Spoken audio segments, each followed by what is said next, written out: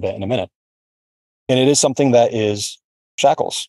Like I I have limited myself and locked myself out of our system sometimes by putting this in place in some cases. And I've had to find ways to make sure that I can adjust that when needed, that my coworkers can help me get in if I'm currently locked out. If my uh, if my IP address changes on the system I'm on, if I have to change to a hotspot or whatever else, I have to be able to update the IP that's in the whitelist so I can still use systems.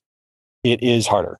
I will make no qualms about that. If anyone has uh, accusations that this is making security more difficult, it's true. The benefit is if the only place that you can get into my system is from my IP address, then you can get my password, you can get my two factor code, you can get whatever else you want. And unless you're able to get to my location, be where I currently am, you can't get to my system.